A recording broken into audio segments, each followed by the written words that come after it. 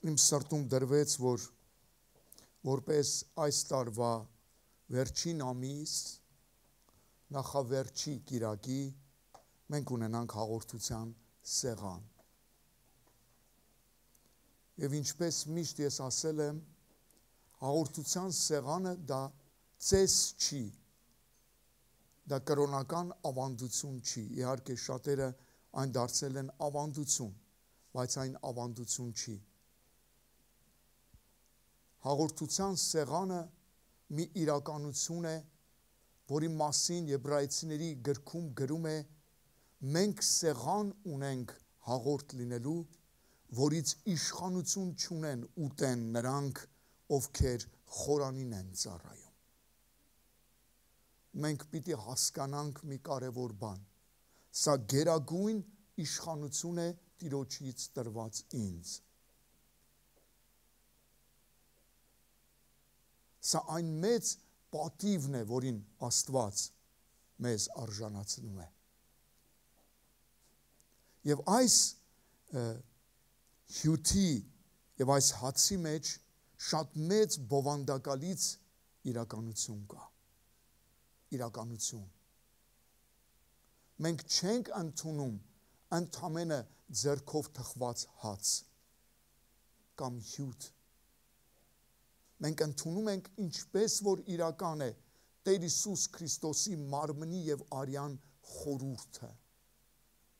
Սա շատ մեծ խորուրդ ունի իր մեջ եւ ամեն անգամ մոտենալուց առաջ մենք պիտի այդ խորհրդի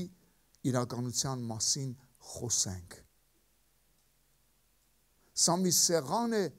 որին հավատքով պետք է մոտենալ։ Հավատքով։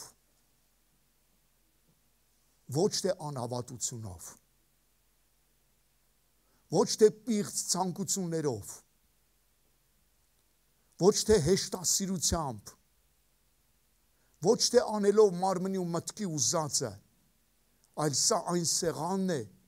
որին մեզ պետք է մոտենալ երկյուղված։ Պետք է մեզ այս սեղանին մոտենալ ահով եւ դողով։ Որտեւ այս սեղանը արժան է գնահատականի։ Ով որ այս սեղանը թերագնահատի, ով որ անարժանապատվությամբ մոտենա, պարտական կլինի տիրոջ արյանը եւ մարմնին։ Իսկ ինչ է նշանակում։ Արդյոք մենք վաստակում ենք արժանիք, որ կարողանանք օգտվենք այս սեղանից։ Սերներ, հաճախ շնորհքը խեղաթուրված է մարդկանց մոտ, երբ ասում են շնորհք ասում են գործ չկա երբ ասում են հավատք գործ չկա որտեվ հավատքով չենք գործերով չենք փրկվում հավատքով ենք փրկվում այո բայց հավատքն էլ ունի գործ մենք անցած 3 կիրակիները խոսեցինք այդ մասին հավատքը ունի գործ Հավատքը սրբացնում է ինձ։ Հավատքը քիչ առաջ նշեցի Ռոմայացիների գրքից, որ ասում է Աստծո խոսքը զորությունն է Աստծո, որ փոխում է մեզ հավատքից դեպի հավատք։ Տանում է մեզ խորանալու, տանում է մեզ ճանաչելու։ Եվ այդ հավատքից հավատք ընթացքի մեջ ոչ թե մեր գլուխն է զարգանում, այլ մենք սրբանում ենք էությամբ։ Այդ հավատքից հավատք տանելը մեզ հասցնում է այն վիճակին, որ մենք կարողանանք ամբից եւ անարատ կանգնենք Փեսայի առաջ, որովհետեւ Սուրբ ոգին մեր մեջ է մեզ դարձնելու ամբից եւ անարատ, որովհետեւ նա ում առաջ մենք պիտի կանգնենք, ինքը ամբից է եւ անարատ։ Եվ քանի որ ինքը ամբից է ու անարատ, մենք էլ պիտի իր արչև գտնվենք, կանգնենք ամբից եւ անարատ։ Նախ ուզում եմ այսօրվա իմ խոսքը ես վերնագրել եմ. Առանց արյունի թողություն չկա։ without blood there is no remission. Առանց արյունի թողություն չկա դրա համար միասին կարդանք Եբրայեցիս 9 19-ից 22 խոսքերը Hebrews 9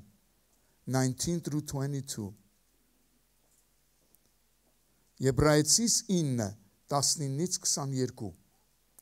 որովհետև երբ Մովսեսը խոսեց բոլոր պատվիրանները ըստ օրենքի ինքը վերցրեց ցուլերի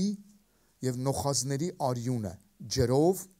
մաքուր բուրթով եւ զոպայի մշտիկով եւ սրստե սրսկեց գիրքը եւ բոլոր ժողովրդին ասելով սա է այն ուխտը որ Աստված պատվիրեց մեզ եւ հետո ինքը սրսկեց գիրքը եւ խորանը եւ բոլոր սպասավորության գործիքները։ Եվ այս օրենքի համարյա ամեն ինչ մաքրվում էր արյունով եւ առանց արյուն թափելու մեղքերի թողություն չկար։ Ինչու արյունով։ Ինչու արյունով։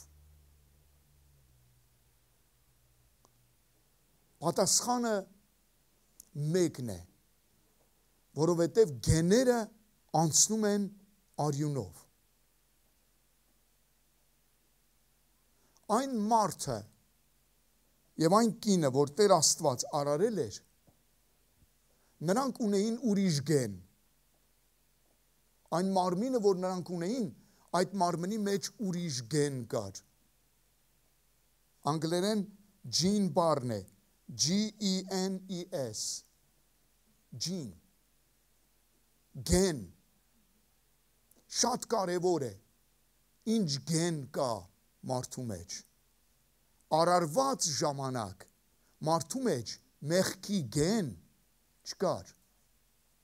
չկար մարդը չուներ այդ գենը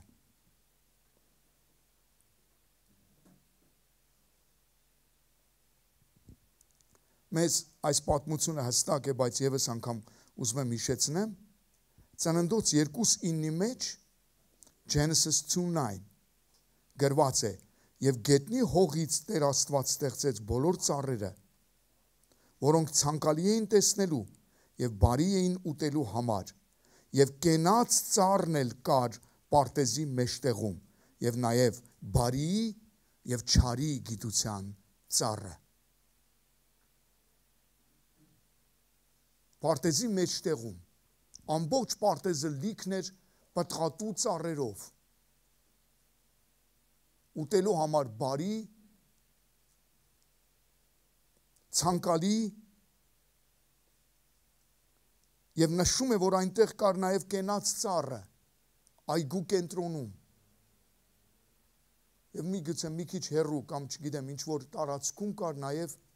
բարի եւ չարի գիտության ծառը ինչ ինչ գեներով էր Աստված ստեղծել մարդուն։ Մարդը չգիտեր բարին եւ չարը։ Մարդու գեների մեջ չկար գիտենալու բարին եւ չարը։ Մարդը չգիտեր դա։ Չգիտեր։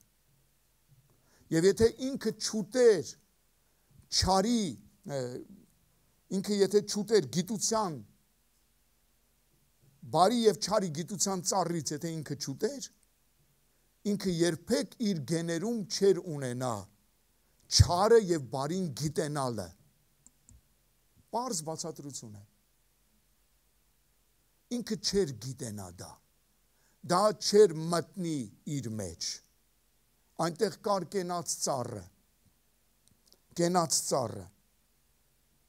տեսեք իրականության մեջ պատմությունը այդքան շատ չի փոխվում Մենք հայտնություն 22 2-ի մեջ կարդում ենք Revelation 22 verse 2 մենք կարդում ենք եւ փողոցի մեջտեղում ու գետակի երկու կողմերում կենաց ծառը կար որ 12 կերպ պտուղ էր տալիս ամեն ամսվա համեմատ եւ այդ ծառի տերևները բժշկություն էին հեթանոսների համար Սա այդ նույն Եդեմի պարտեզի ծառի խորուրդն է։ Այսօր մեզ համար այդ ծառից օգտվելը հասանելի է։ Դուք հիշում եք, երբ որ մարդը մեղ գործեց, Տեր Աստված ինչ արեց, հրեղեն սուրով հրեշտակ դրեց կենաց ծառի առաջ, որ չլինի հանկարծ մարդը գա եւ այդ ծառից ուտի, որովհետեւ ինչ է կենաց ծառը ինչ է, ուտի պիտի հավիտյան չմեռնի։ Ուտի պիտի ապրի բայց կարող եք հասկանալ ինչ դժբախտություն է լինելու, եթե մարդը մեղքի բնությամբ հավիտյան ապրի։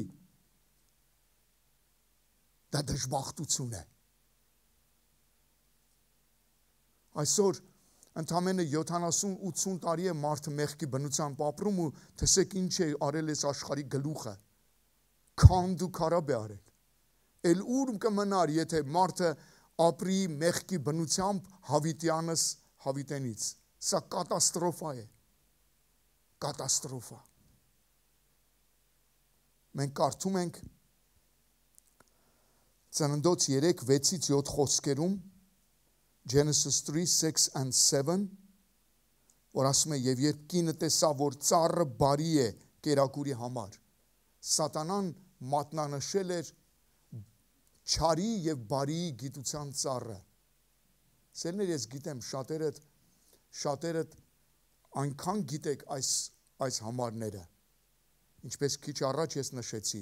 նորություն չի ասվում, բայց կարևոր է հասկանալ դրա բուն իմաստը, կարևոր է ապրել դրա բուն իրականությունը։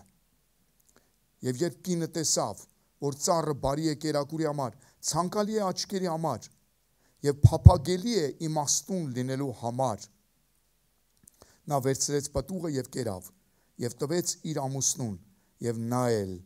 կերավ այն ժամանակ նրանց երկուսի աչքերն էլ բացվեցին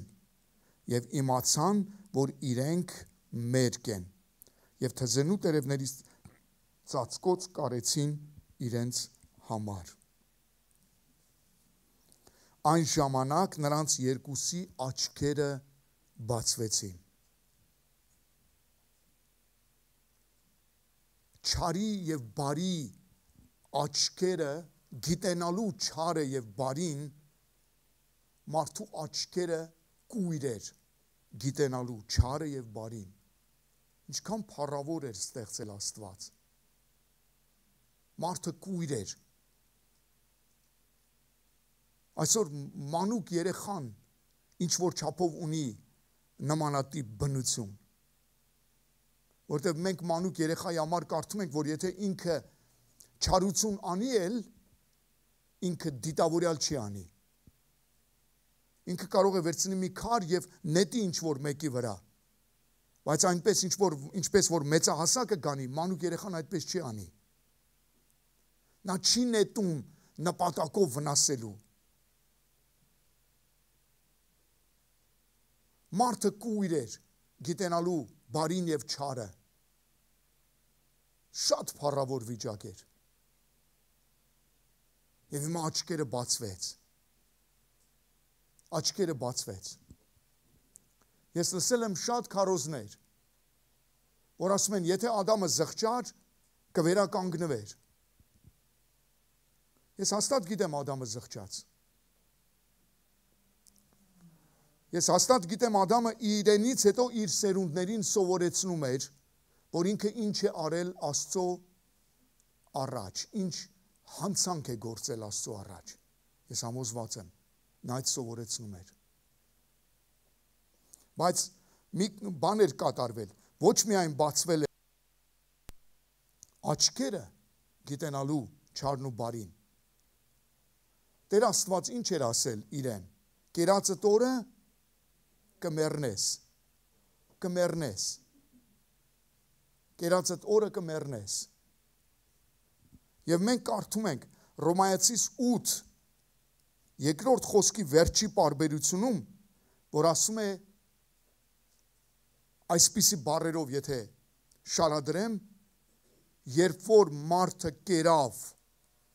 չարի եւ բարի գիտության ծառից,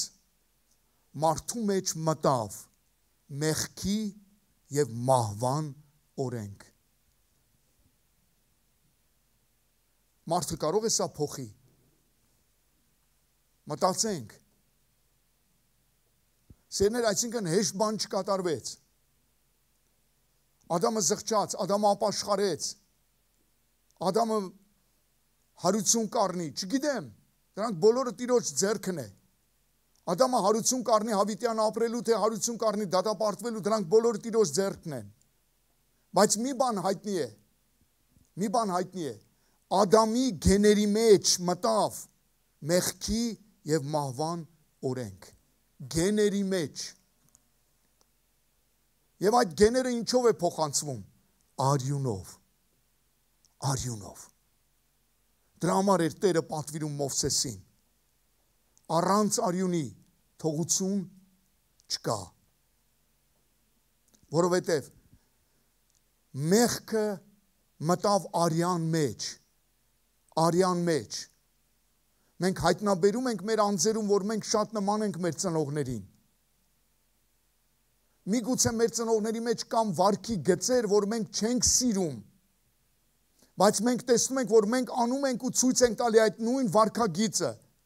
որտեղ ծնողից ինձ ինչ է փոխանցվել արյուն արյուն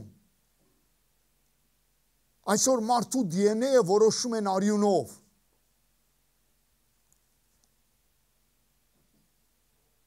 Ադամից փոխանցվեց արյուն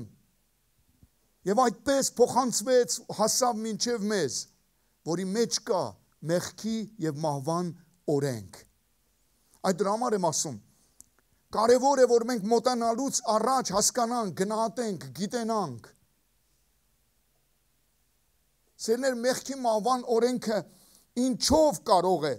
ինչով կարող է մեղքի եւ մահվան օրենքը դուրս գա իմ միջից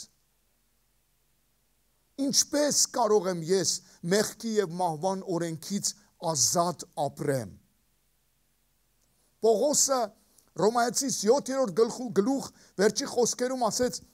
խղճալի մարդ եմ ես ով ինձ կազատի ով ինձ կազատի, այսինքն իմ կողմանե ելք չկա։ Ես ելքը չգիտեմ։ Հիմա դաշտում մի հատ օծ ինձ խայթել է։ Եվ ես ճանաչում եմ այդ օծին ու գիտեմ, որ այս օծի խայթոցից մարդը 15 րոպե կամ կես ժամ հետո պիտի մեռնի։ Ես խայթված եմ այդ օծից։ Հիմա ինչ եմ ես փնտրում։ Ես փնտրում եմ մեկին, որը ինձ կտա մի դեղ, մի ճար, որ ես կարողանամ այդ թույնի ազդեցությունից բժշկվեմ, այսինքն հակաթույն տա ինձ։ Գիտեք չէ, հակաթույնն էլ է վերցվում թույնի, օծի թույնից։ Հակաթույնը վերցվում է օծի թույնից։ Դրա համար Հիսուսը մահով սپانեց մահին։ Մահով Եթե նա մինչև վերջի պահը համբերեր խաչի վրա, բայց իջներ այդ խաչի վրայից։ Միևնույն այդ հաղթությունը չէր կայանա որովհետև պիտի complete ամբողջական մահ պիտի կայանար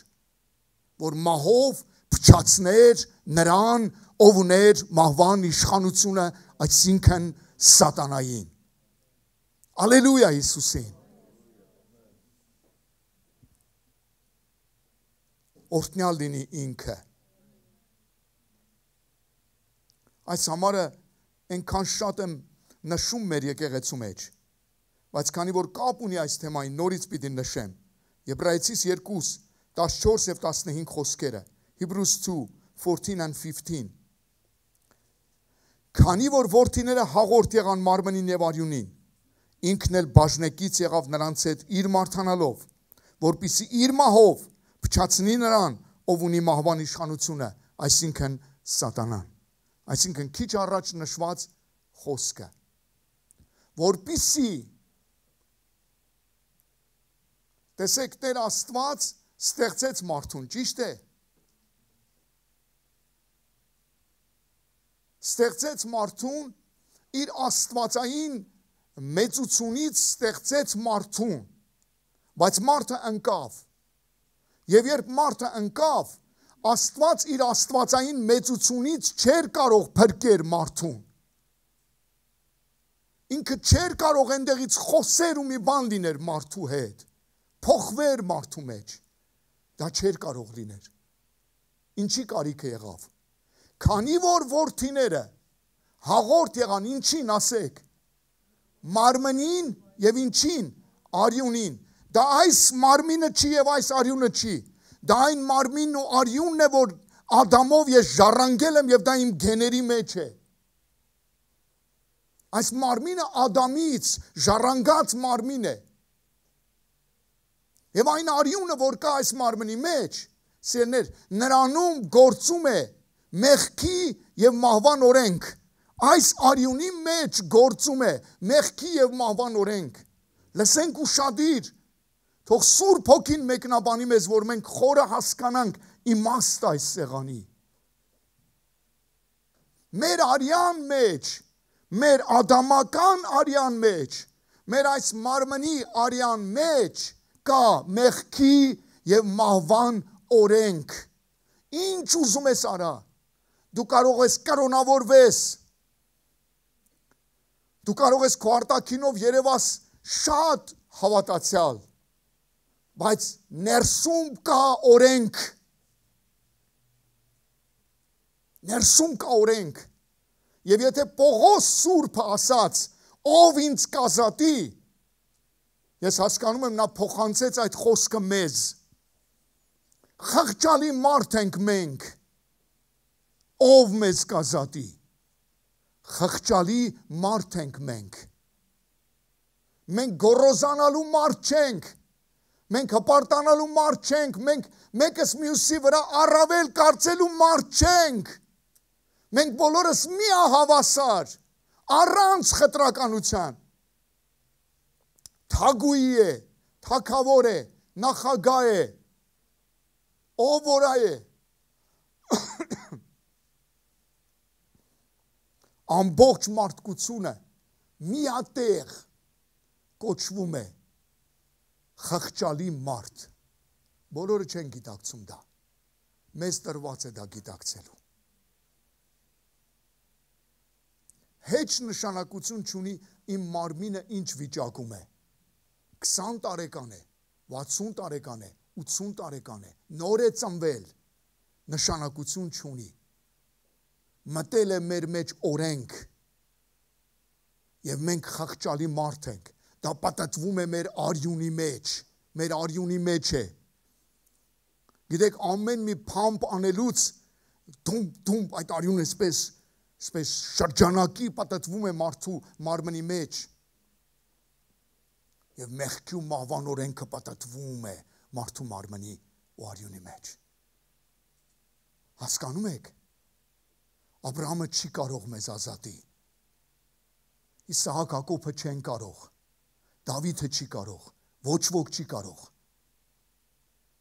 Չկա մեկ ծնունդ, որ մեզ կարողանա ազատի։ Ես հաճախ եմ սա ասում։ Քանի որ մենք արդեն արդեն ելքը գիտենք, հաճախ այնպես հանգիստ ենք նստած։ Բայց մի պահ եկեք այսպես հասկանանք։ Ես ելքը չգիտեմ Ճիշտ է դաշտի օծից խայթվածի օրինակի նման։ Խայթված ընկել եմ ու չգիտեմ։ Կգտնվի մեկը, որ ինձ փրկի։ Ես խայթված եմ։ Եվ երբ որ ինքը եկավ մեզ փրկի, մենք արդեն մեռած էինք։ Այսինքն այդ օծի թույնը մեզ սپانեց։ Այդ նույն օրը սپانեց։ Այդ նույն պահին սپانեց, որովհետև Տեր Աստված ասել էր, այդ նույն ժամանակ դու կմեռնես։ Մեռավ։ Մենք մեռանք Ադամի երանքում։ Մահացած Ադամի արյունն է փոխանցվել մեզ։ Որպիսի խորը հասկանանք այս համարը, որ ասում է, քանի որ worth-իները հաղորդ եղան մարմնին եւ արյունին, հաղորդ եղան։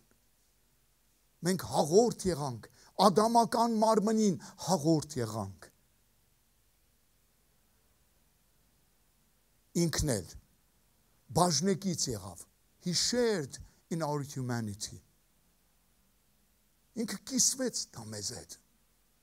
Հիշեք ինքը ով էր։ Սա այն շրջանն է, որ մենք տոնում ենք փրկչի ծնունդը, ճիշտ է։ Բայց ով է ծնվել։ Ինչպիսի մեկն է ծնվել։ Ես ասացի, քերով բեն չի մարդացել։ Աստծուն հավասար, Աստծուն հավասար, Աստված է մարդացել։ Աստված եկել է ադամական մարմնի նմանությամբ մարմին է հակել եւ եկել է այս աշխարհ։ Եվ մեր միակ ելքը նա է։ Մեր միակ հավատքը նրա վրա է։ Մեզ ազատագրողը միայն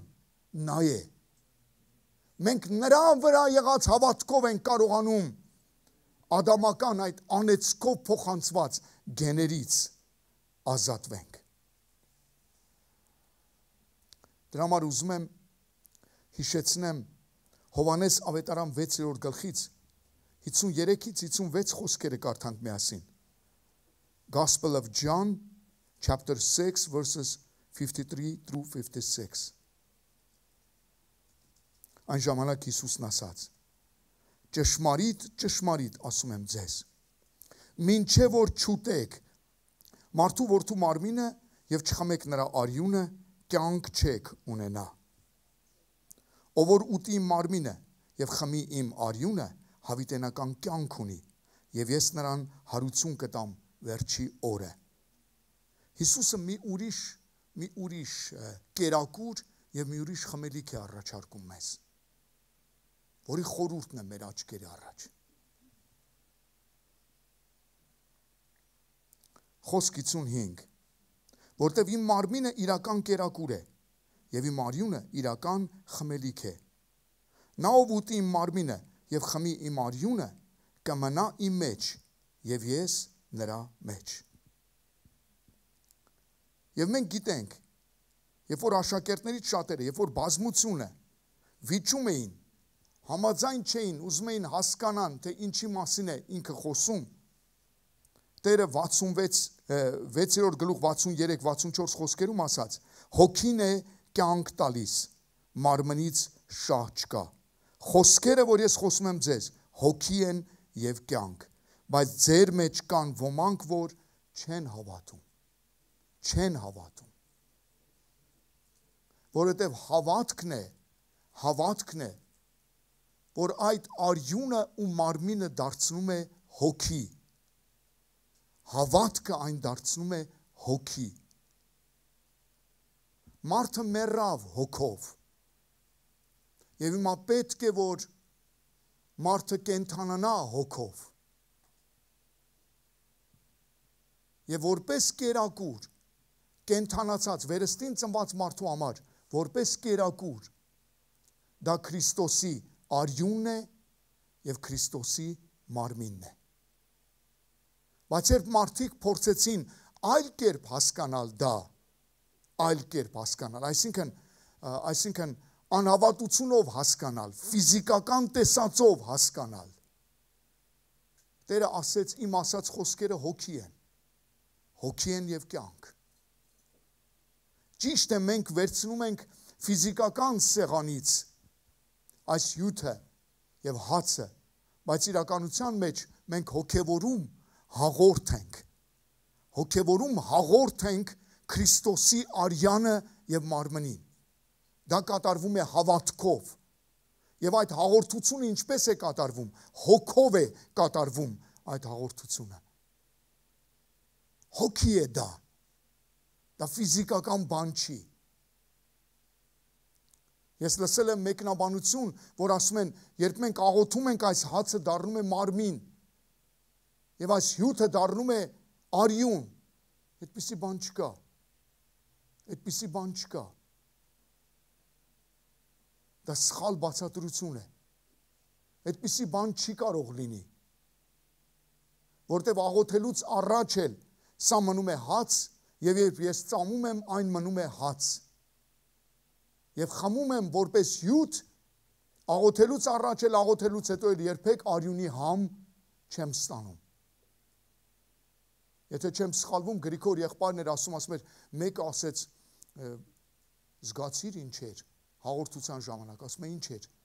Ասում եմ միս էր, միս, միս։ Ու ասում է ես սենց շփոթված նայում եմ, ասում եմ, օր այս մարդիկ էս ուր են հասե։ Հացը ուտում են մսի համ են առնում, ես ուտում եմ հացի համ եմ առնում։ Սերներ այդպիսի բան չկա։ Դա կաթոլիկական ուսուցում է։ Կաթոլիկներից է դա փոխանցվել մենք ֆիզիկականում հաղորդ ենք հացի եւ հյութի բայց հոգեվորում այս է բացատրում Տերը ինչ է այն հոգեվորում հոգեվորում այն հոգի է հոգի է այս հացը չի որ իմ մեջ փչացնում է մեղքի մահվան օրենքը հոգու հացն է հոգու հաց կա թե չկա հա Առաջի Կորինթացից 12 13 խոսքը։ Որովհետև մեկ հոգով մենք բոլորս մկրտված ենք լինելու մեկ մարմին, թե հрья եւ թե հույն, թե ծառա եւ թե ազատ։ Եվ բոլորս կանչված ենք խմելու այդ մեկ հոգուց։ Այս էր։ Բոլորս կանչված ենք խմելու այդ մեկ հոգուց մենք կանչված ենք խմելու մեկ հոգուց։ Մենք այստեղ խմում ենք ֆիզիկական հյութ, բայց կանչված ենք խմելու հիմա հավատքով, հավատքով մենք հաղորդ ենք։ Որտեղ մենք այս հաղորդությունը կարող է վերցնենք ամիսը 1, երկու ամիսը 1, բայց հոգու հաղորդությունը Հոգու հաղորդությունը մեզ հետ է ամեն ժամանակ։ Մենք ամեն վարքյան, երբ որ կանգնում ենք Տիրոջը աղոթելու, մենք մտնում ենք հոգու հետ հաղորդության մեջ։ Եվ այդ է այն ուժը, որ մեզ ազատ է անում։ Այդ է այն ուժը։ Առաջի Հովանես 5 7-8 խոսքերում 1 John 5 7 8 7 and 8 ասում է որովհետև երեքն են որ վկայում են երկնքում հայրը խոսքը եւ սուրբ ոգին եւ այս երեքը մեկ են եւ երեքն են որ վկայում են երկրի վրա հոգին ջուրը եւ արյունը եւ այս երեքը միաբան են այս երեքը միաբան են հիմա նայենք հերթով նայենք արագ հոգին Եփեսացիս 2:18 Ephesians 2:18 որտեղ նրա միջոցով մենք երկուսով հորը մոտենալու արտոնություն ունենք մեկ հոգիով մեկ հոգիով սա հոգին է սա այն այն հոգին է որը մեզ հասանելի է դարձել արյան շնորհքով ջուրը առաջի կորինթացիս 15:1-2 ավելին եղբայրներ Ձեզ ավանդեցի այն ավետարանը, որն էլ ես ձեզ քարոզեցի, որն էլ դուք ընդունեցիք եւ որում էլ դուք կանգնացեք։ Որ նաեւ դուք կփրկվեք, որով նաեւ դուք կփրկվեք, եթե ամուր բռնեք այն խոսքը, որ ես ձեզ քարոզեցի։ Եթե ոչ, դուք պարապտեղն եք հավատացել։ Ավետարանը ջուրն է կենաց Ինչպես որ նաև Եբրայեցիների գրքում է ասում, նա լված հարսի նավազանի ջրով, խոսքով։ Սա ջուրն է այդ կենաց։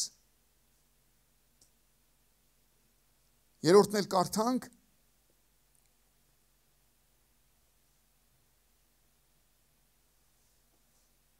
Հա, հենց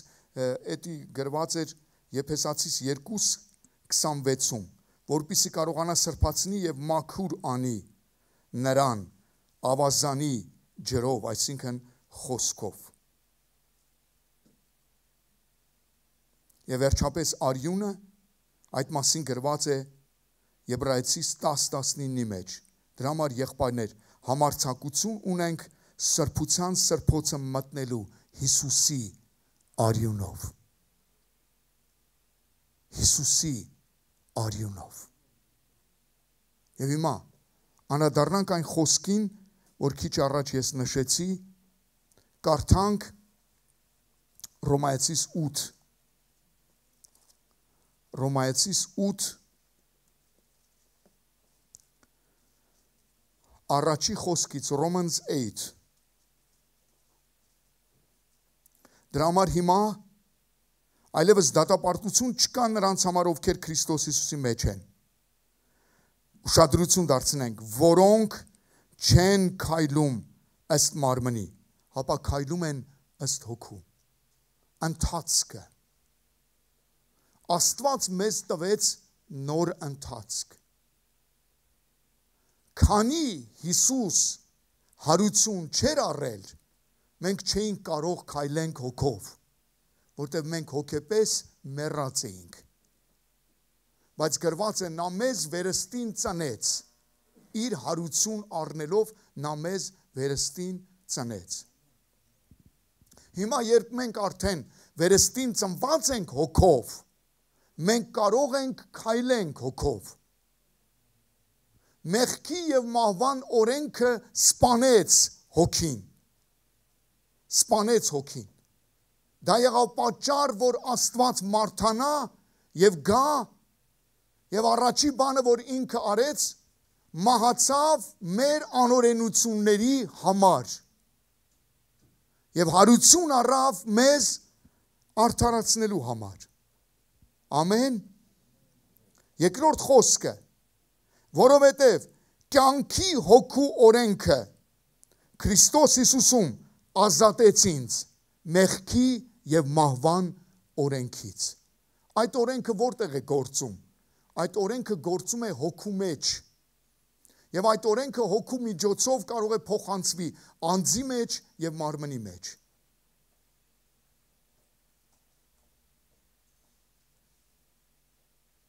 օրենքը մտել մեր մեջ եկել է մի հոգի, որը բերել է ուրիշ օրենք։ Մենք Ադամով մտանք մեղքի մահվան օրենքի տակ եւ կերպ չէր, հնար չէր, որ մենք կարողանայինք ազատվեինք այդ հոգու ազդեցությունից։ Հնար չէր։ Բայց Աստծո որդին եկավ, ծնվեց կնոջից, մտավ օրենքի տակ որpիսի մեզ ազատի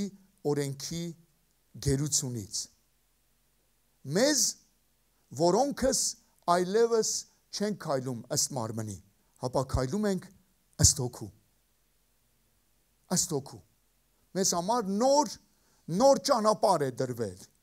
Նոր սկիզբ։ Այդ մասին է վկայում նաև այս սեղանը։ Մենք սեղան ունենք պատրաստված մեր ճշնամիների դիմաց 23 սաղմոսից սեղան ունենք պատրաստված մեր ճշնամիների դիմաց ճշնամին ամեն ջանք անում է որպիսի գայթակղեցնի բայց այս սեղանի խորուրդը որին հիմա մենք մոտենալու ենք հենց հիմա մի քիչ հետո մեզ պահում է որպիսի նա ատամները կրճտացնի բայց չկարողանա հասնի մեզ որովհետև մենք այլևս աշխարհի հոգու ազդեցության տակ չենք հապա այն հոգու որ տիրոջից է ուղարկված մեր մեջ ինչպիսի հոգի է Տերը մեզ ուղարկել վախի հոգի կապանքի օքի, ոչ։ Տերը մեր մեջ ուղարկել է որդեգրության հոգի։ Մենք ունենք որդեգրության հոգի։ Քրիստոս մեզ տվել է մի հոգի, որը իր մեջ ունի կյանքի օրենք։ Կյանքի օրենք։ Աշխարհի մեջ գործում է մահվան օրենքը։ օրենք, Մենք այդ հոգին հասավ մի օր, որ Տերը մեզ ազատեց այդ հոգու ազդեցությունից։ Տերը մեզ փրկեց։ Սերներ Տերը մեզ փրկել է աշխարհի մեջ ազդող հոգուց Մենք ազատված ենք այդ հոգուց։ Մենք փրկված ենք այդ հոգուց։ Մենք առել ենք հոգի, որը ունի կյանքի օրենք։ Ասա ես առել եմ հոգի, որը ունի կյանքի օրենք։ Հավատում ես։ Հավատում ես։ Ես հրճակում եմ։ Ես հավատում եմ։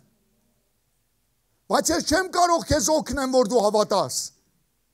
Որտեվ հավատացնողը հենց այդ հոգին է։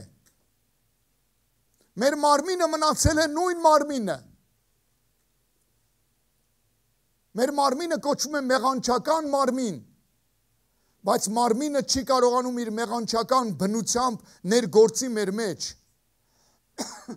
որտեղ ներսում հզոր փոփոխություն է կատարվել։ Հզոր։ Հիսուսին հարուցանողի հոգին եկել է եւ կենթանացրել է մեր հոգին։ Հիմա ես հոգով կենթանի եմ։ Մեռած եմ մարմնի համար եւ կենթանի եմ հոգու համար։ Այսինքն կատարվեց այն ինչ որ Աստված սկզբում արել էր։ Տիրոջ խոսքն ասում է ով կա որ իմ ծառայի նման կույր է։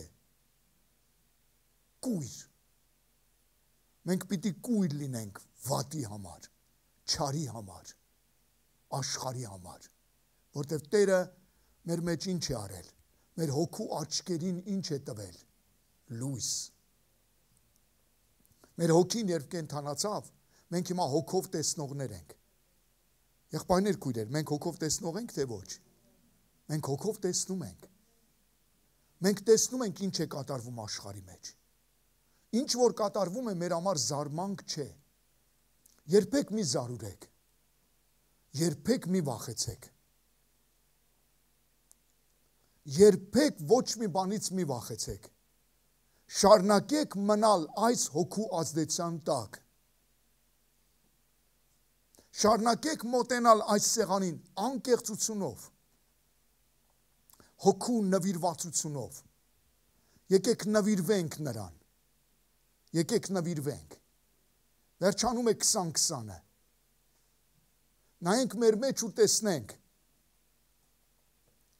Էլ ես տիրոջը նվիրվելու տեղ ունեմ, թե չէ։ Թե նվիրվել եմ վերջնական։ Ես իմ մեջ գտնում եմ, որ դեռ կա տեղ։ Դեռ կա տեղ նվիրվելու։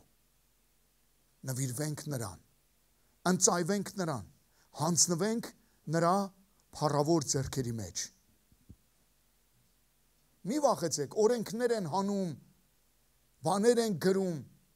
Մենք հաճախ այնպես ենք խոսում, կարծես այս ամեն ինչը մարդը կարող է ինքը իրեն անի կամ դիվական ուժերը կարող են իրենք իրենց անեն։ Ինչ որ աշխարի վրա կատարվում է, նրանց իշխանությունը տվել է մեր Տերը։ Իշխանություն ունեն։ Էպիդեմիա էպիդեմիան Չայնայում սարքեցին, ինչ արին։ Տերը տվել է նրանց իշխանություն։ Իշխանություն։ Որ անեն դա որ անեն դա։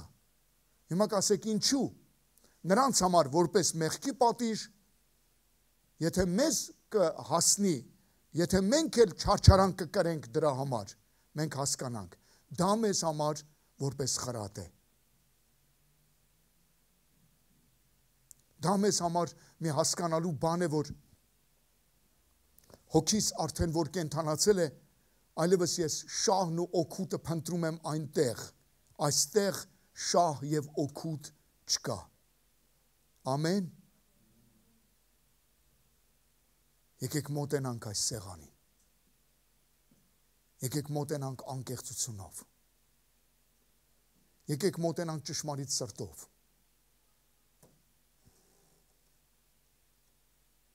Զորությունը մեզանից չի։ Զորությունը Տիրոջ հոգուց է։ Տիրոջ հոգին է զորություն տվողը։ Տիրոջ հոգին է զորություն տվողը։ Դուք մի մտածեք, մի մտածեք, ես չեմ կարող։ Ես նվիրվում եմ եւ հետո խախտում եմ նվիրվածությունս։ Ինչպես ես նվիրվում։ Հավատքով։ Նվիրվում ես ում ուժերին վստահելով։ Քո ուժերին։ Այդպես չի։ Այդպես չի մենք նվիրվում ենք հավատալով նրան, որը մեզ տվել է մի հոգի, որի մեջ կա կյանքի օրենք։ Ես առել եմ հոգի, որի մեջ կա կյանքի օրենք։ Կյանք կա մեր մեջ, կյանք։ Այն հավատացյալը, որ կասի, է, կյանք չկա, կյանք չկա, դու չգիտես կյանքի ճիշտ տեղը։ Կյանքի ճիշտ տեղը մարմնում չի։ Կյանքի ճիշտ տեղը հոգում է հոգում օրհնյալ լինի Տերը